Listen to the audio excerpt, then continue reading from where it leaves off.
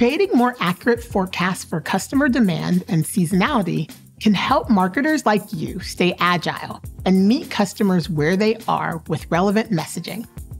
But accurately predicting customer demand or digital media performance can be daunting without the right data or resources.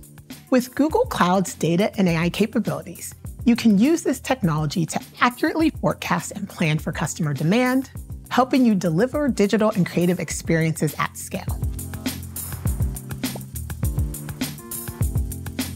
Hi, everyone. Buki here. I'm the Senior Product Lead for Data and AI Cloud for Marketing at Google. And you found your way to How to Think About. And today we're talking about using Google Cloud to plan for and forecast customer demand. I'm excited to share some key methods and solutions that can help you accomplish that. First comes forecasting demand.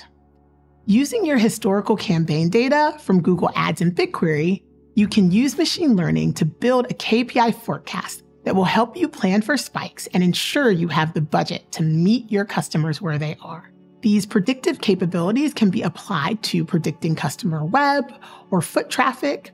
You can leverage data like holiday variables, store visits, or even weather trends. And with that data, you can build a powerful predictive model to optimize your budget and better anticipate traffic and demand.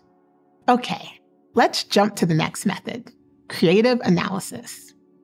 As a marketer, I'm sure you know the quality of your creative can either make or break your campaign performance. In fact, when creative best practices are used, there's an average 30% lift in the likelihood of short term sales and a 17% lift in the long term brand contribution. So, we know creative is important, but how do you know which elements within help to move the needle?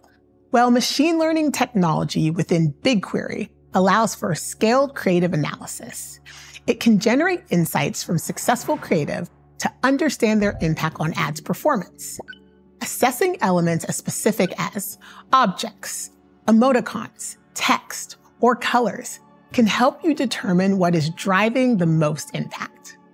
Speaking of AI, I'm most excited about generative AI and how it will change the way we create content and marketing assets.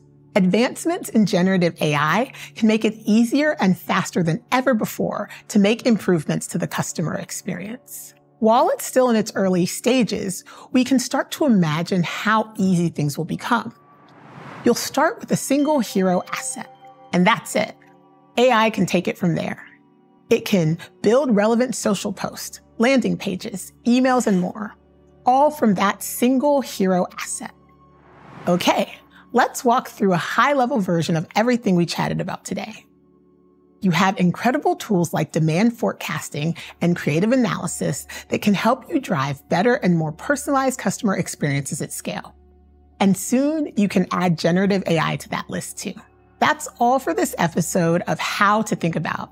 And I'm so glad you could join me in rethinking the customer experience. To learn more about how Google Cloud can empower your marketing strategies, be sure to subscribe to the Think with Google YouTube channel. See you next time.